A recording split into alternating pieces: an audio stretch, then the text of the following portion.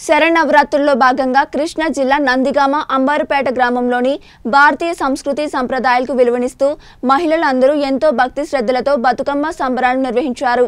గత ఎనిమిది రోజులుగా అంబారుపేట బొడ్డురాయి నందు రంగురంగుల పూలతో అలంకరించిన బతుకమ్మలను మహిళలు పిల్లలు పెద్దలు ఎంతో ఉత్సాహంతో చక్కగా అలంకరించి ఆడుతున్నారు.